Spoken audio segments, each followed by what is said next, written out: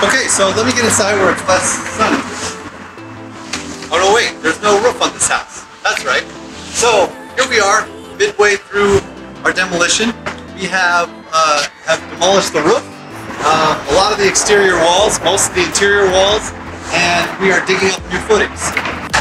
So this is what we call a advanced open kitchen concept. That's where you don't even have a roof. Um, so this is where we're going to install the new kitchen. Uh, we have some new trusses that are going to come out uh, shortly, and we'll be putting them on after the footings are up and we start doing the framing. Uh, windows all get replaced, so all these are going to get replaced. This door over here is going to be sealed up, um, and all the exterior windows are going to be replaced. A lot of the plumbing is going to be replaced. The floor is going to be replaced. This is top to bottom, an entire home renovation. We have the new footings being dug out, and this is the extension onto the house. Uh, this is actually going to be uh, one of the guest bathrooms. This is going to be uh, basically the grandma's bathroom, and uh, the homeowner's mom's bathroom. And it's going to have a shower, walk-in shower, and a vanity and a toilet. So right now, we just got to get the foundations poured so that we can start framing. And then this is going to be the new two-car garage.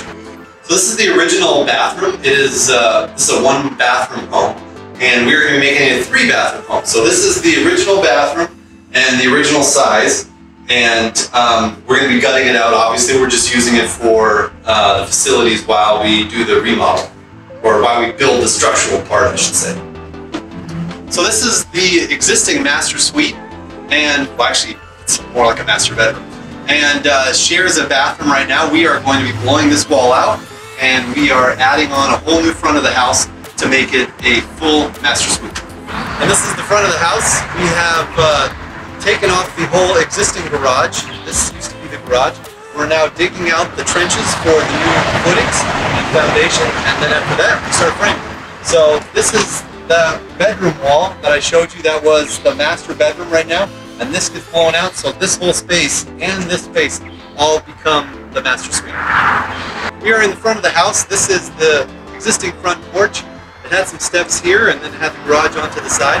So now this roof line completely changed. It only had one gable in the roof, and now it's going to have two, um, which is the peak of the roof. So we'll have two peaks in the roof. It's going to give it a whole new look on the front, and this whole porch will be all brand new. Um, obviously, can't leave it like this, can we? and uh, and it'll have um, it'll be a little bit bigger space so for seating.